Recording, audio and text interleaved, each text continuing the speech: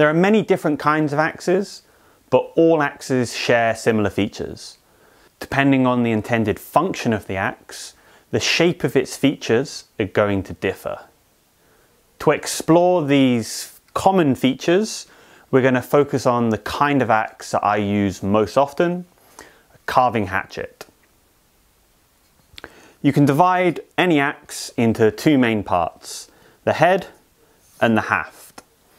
Starting at the bottom of the haft or handle, the end knob provides extra material to help prevent the axe from slipping out of your grip. Above the end knob,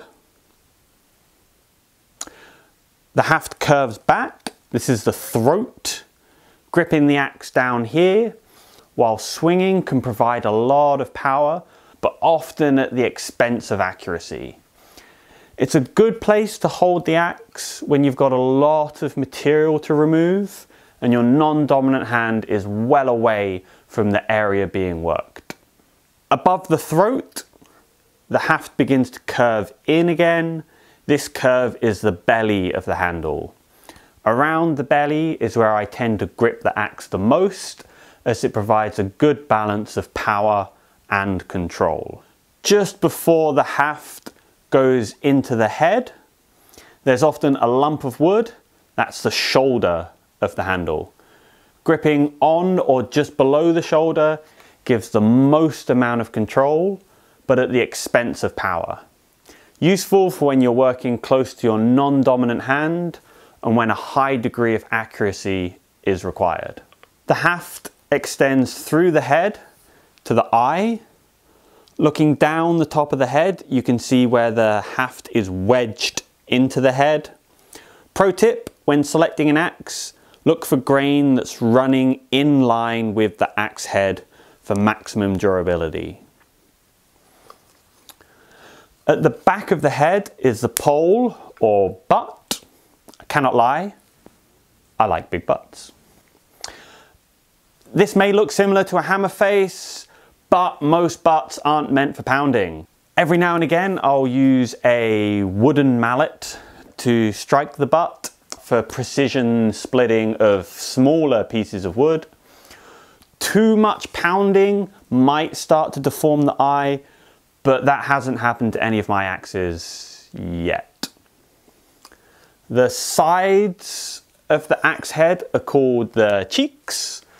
Sometimes the cheek extends slightly down the handle, that would be called a lug. Lugs are there to increase the area of metal to wood contact to keep your head attached to your haft. Moving along the cheek towards the business end of the head, we have the bit. Careful, the bit bites. I haven't been badly bitten by the bit, but blimey, bites from the bit are bad. This section of the bit that extends down towards the handle is the beard. Having a beard is always good. The advantage of a bearded axe that has space for your fingers means that you can put your hand right behind the cutting edge.